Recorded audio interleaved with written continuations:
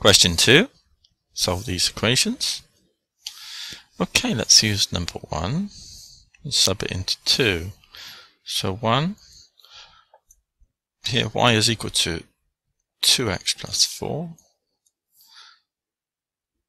So sub that in, 4x squared, plus y squared, plus 20x. Expand this bracket.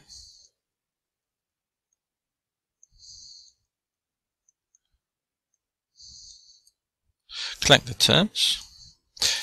So that's 8x squared. Looks like there's a common factor here. Plus 16x plus... Oh, 36x.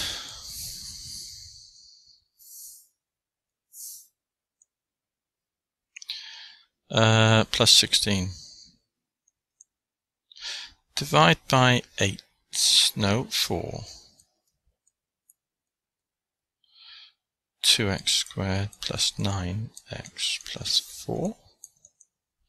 Factorize. Uh, four ones.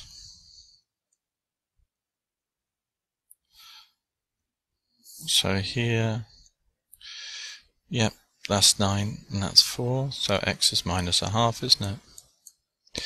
And x is minus 4. So y is equal to 2x plus 4. Two of these is minus 1, plus 4 is 3. Minus 4 is minus 8, plus 4 is minus 4.